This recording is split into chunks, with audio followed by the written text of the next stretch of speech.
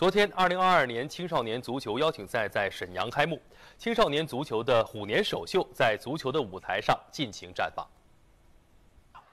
在沈阳李铁八号主题公园内，贺岁杯青少年足球邀请赛正在如火如荼地进行着。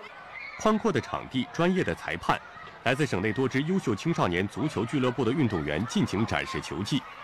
贺岁杯青少年足球邀请赛开始于二零一八年，经过几年的培育和发展。已经升级为家喻户晓的高水平青少年足球赛事，同时众多青少年足球人才也通过这个舞台走向更高的平台。踢球已经踢六年了，我踢的是守门员，保证球门不失，然后保证自己的球队不会输球，然后把训练的都训练练的东西都给发挥出来。以赛代练，相互学习并增强团队意识。这场比赛在实践中体验足球的乐趣，更是发掘和培养优秀后备力量的新思路和新途径。